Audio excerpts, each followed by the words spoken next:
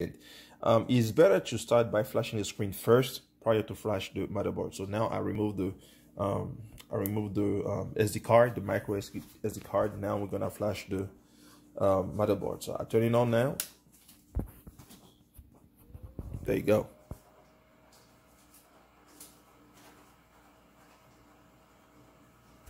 Okay, let's see what we got in.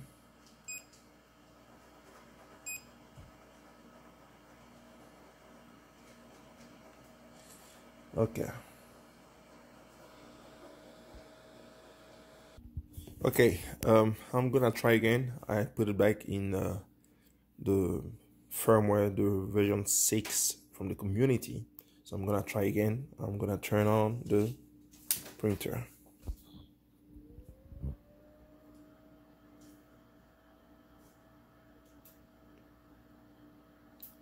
Well, really fast, I'm not sure. What are in? Why it looks like he went in. Okay.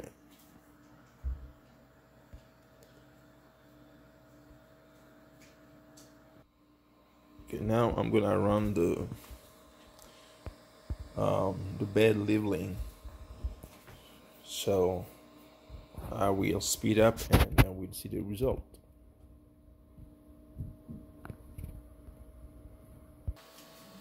Okay this is the values that I got for the um, automatic level leveling for the bed so it pretty much works good. So um, I'm gonna uh, print out something and I will let you know the result after replacing both like is it the whole mess? I replace the whole housing for the switcher and I replace also the um, the motherboard.